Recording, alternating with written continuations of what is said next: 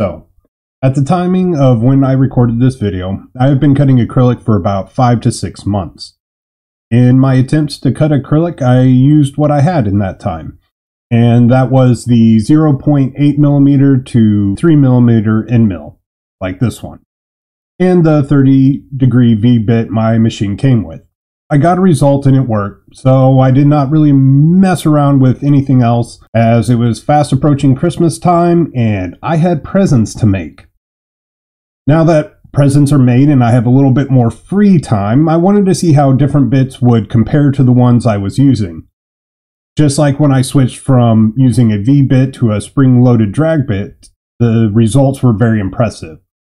So we will be looking to see which of these bits leaves the best edge and let's see, does a more expensive bit give you a better result? I do want to point out we will only be doing one cut. This is not to see how long the bits last over time, just testing to see how they cut. So let's find out and get this video started.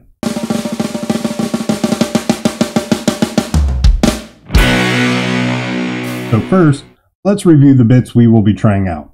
Now I want to note that in these six bits, two are the end mills I have normally used, mainly the nano blue coated end mill and the titanium coated end mill. I will be using the 3mm diameter ones as those are the closest in diameter to the other bits we will be testing. These will serve more as my control in this test. Now the other four bits are a double flute flat nose spiral bit with a 3.175 millimeter diameter, a nano blue coated flat nose end mill spiral upcut single flute with a 3.175 millimeter diameter. Try saying that three times fast. A nano blue triple flute square end mill with a 4 millimeter diameter, and a double ball nose spiral bit with a 3.175 millimeter diameter. Now, why use a ball nose? Well, one to show you why you don't want to use the ball nose for cutting, and two, to see if it will cut any different than what I am expecting. Now, between the time I purchased the triple flute set and I received it and received it, SainSmart had changed that item from a set with diameters of 1mm to 4mm to a 5 and 6 millimeter set. I did happen to find another set with some of the smaller diameters in them, so I'll put the links for both down below. Now, they're all labeled with their bits diameter, but let's look at the single flute that says it is 3.175 millimeters. With my calipers, I measured the diameter. Now, I rotate the bit a little and take several readings and find the greatest width. So now when we put the bit into our software, we will have a more accurate diameter of our bit. So this one, the greatest reading I took was 3.09 millimeters. So that's what we're going to put into our software. Now I have done this for all the bits we are using and set them up with the measurements rather than the manufacturer's described diameter. Alright, so I will be using the settings I normally use to cut acrylic with, and those are 225 millimeter feed rate, a 0.15 millimeter depth per pass, 75 millimeter plunge rate, and 9000 RPM for the spindle. I will be using a nominal 5 millimeter acrylic, and we will be setting the Z home on the thickest corner of the acrylic. Now I made this quick design that would give us some curves, straight lines, and corners, and a small pocket so we can see how each bit handles those. For the text I will use my spring-loaded drag bit.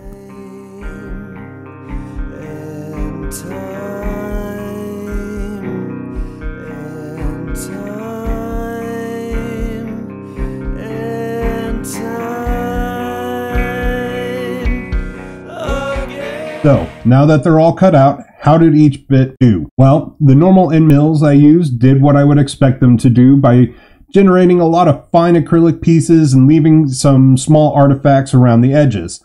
Nothing a light sanding would not get rid of. It did eject the cut acrylic, and it was mostly confined to the immediate area of my 3018. The double flute bits also cut well. The ejected acrylic was larger than the typical end mill I used, also, as expected, the ball nose double flute left a curve along the edges and artifacts around the bottom, so would not recommend using it to cut acrylic unless for some reason that is the look you are going for. So, how did the single and triple flute fare? Well, they both ejected way larger pieces of acrylic than the other four bits. They also ejected further away from my machine. The big difference I found is that the single and triple had tiny to no artifacts left around the edges, so a very light sanding is needed to polish the edge as opposed to getting rid of material. Speaking of edges, be on the lookout for another video I'm going to start working on where I try out several different methods of polishing the edges. Now as for noise level, it seemed to me that the normal end bits I used were louder than the other four after the initial first layer was cut. This is just going off perception while I was watching these cut out, but when watching the video playback, they both seem to be about the same. So the jury is still out on that question.